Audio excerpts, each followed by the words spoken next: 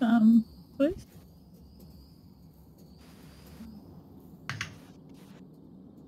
Me? Uh, 2060 Super? Oh, yes. Yes. I did try to figure out how to put it on. I couldn't figure it out. I'm too dumb.